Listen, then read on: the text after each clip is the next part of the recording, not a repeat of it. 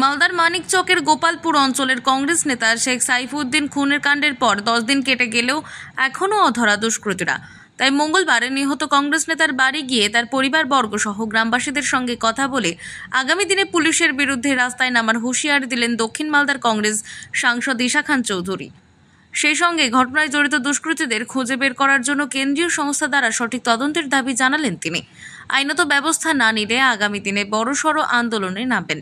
দক্ষিণ মালদার সাংসদ ঈশা খান চৌধুরী বলেন, বাংলায় আইন শৃঙ্খলা বলে কিছুই নেই। এতদিন পার হয়ে গেলেও অপরাধীরা এখনও ধরা পড়েনি। প্রশাসন কোনো কাজ করছে না বলে অভিযোগ করেন।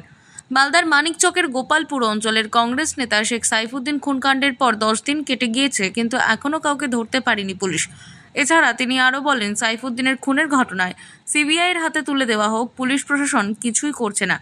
যেমন দেখছেন আরজিকরের ঘটনা এখনও তদন্ত হয়ে যাচ্ছে, প্রমাণ লোপাটের ঘটনা ঘটেছে। প্রশাসন যদি সঠিক ব্যবস্থা না নেয়, আগামী দিনে আমরা পথে নামব বলে হুঁশিয়ারি দেন দক্ষিণ মালদার সাংসদ ঈশা খান চৌধুরী। দেখো, প্রথম হচ্ছে আমরা দুঃখিত যে এই গোপালপুর অঞ্চলটা কয় মাসের মধ্যে একটা মার্ডার না, দুটো মার্ডার হয়েছে।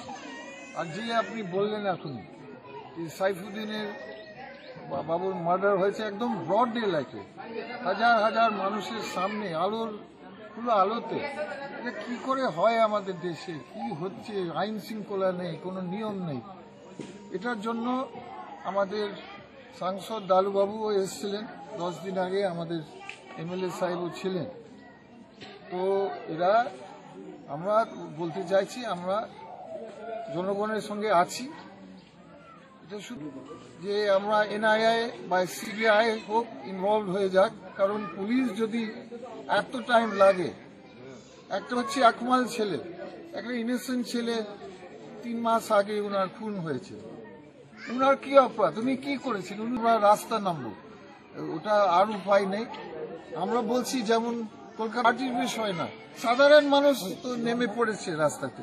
ঠিক সেভাবে এখানেও কি সেই শেখুদ্দিনের মার্ডারের ক্ষেত্রে সাধারণ মানুষের নামবে মাঠে? আমরা যদি বিচার না পাই যদি দুষ্কৃতীদেরকে পুলিশ না ধরে আমরাও রাস্তা নামবো আমরাও প্রতিবাদ করব।